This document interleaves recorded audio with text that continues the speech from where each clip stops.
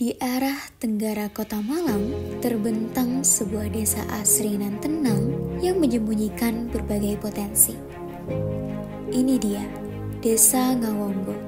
Desa Ngawonggo berada di Kecamatan Tajinan, Kabupaten Malang, Provinsi Jawa Timur. Memiliki luas wilayah sebesar 375.628 hektar dengan jumlah penduduk kurang lebih sebanyak 2.137 jiwa. Desa Ngawonggo terbagi ke dalam empat dusun. Dusun Irodipo, Dusun Mertoyoso, Dusun Nanasan, dan Dusun Sidomakmur. Dusun Nanasan dan Dusun Sidomakmur didominasi oleh permukiman yang padat. Sedangkan Dusun Mertoyoso dan Dusun Irodipo lekat dengan hamparan lahan pertanian dan perkebunan. Untuk menunjang kehidupan masyarakatnya, Desa Ngawonggo menyediakan berbagai fasilitas yang dapat digunakan. Pasar Ngawonggo berperan sebagai pusat perdagangan desa yang siap memenuhi kebutuhan masyarakatnya. Selain itu, juga terdapat fasilitas penunjang pendidikan, baik pendidikan formal maupun pendidikan non-formal. Terdapat PAUD, dua taman kanak-kanak, dua sekolah dasar negeri, satu madrasah ibtidaiyah, satu SMP Islam, satu madrasah sanawiyah, dan satu madrasah aliyah. Fasilitas pendidikan non-formal yang tersedia yaitu pondok pesantren dan TPQ.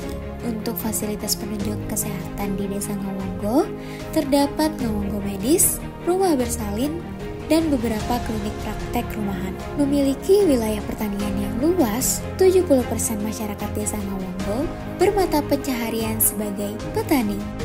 Situs Patirtaan Ngawonggo salah satu daya tarik utama desa Ngawonggo. Situs Patirtaan Ngawonggo adalah sebuah wisata desa berupa pemandian suci yang terletak di Dusun Nanasa. Pada tahun 2017, pemerintah mulai melakukan pemeliharaan dan menetapkan situs Patirtaan Ngawonggo sebagai salah satu cagar budaya yang harus dijaga kelestariannya. Situs Patirtaan Ngawonggo memiliki empat struktur berbentuk relief dan kolam pemandian. Yang menjadi daya tarik bagi para pengunjung adalah adanya tomboan. Tomboan merupakan tempat singgah yang digunakan untuk menjamu para pengunjung dengan konsep pembayaran sukarela. Desa asri ini pun masih kental dengan budaya Jawa. Setiap tahunnya, untuk memperingati satu suro, Desa Ngawonggo menyelenggarakan acara kirap tumpeng. Masing-masing dusun bergotong royong untuk mempersiapkan tumpeng yang akan diarak menuju makam leluhur atau yang biasa disebut sebagai pundet. Mari kita lestarikan kebudayaan dan optimalkan potensi desa Ngawonggo yang khas sebagai warisan untuk masa mendatang.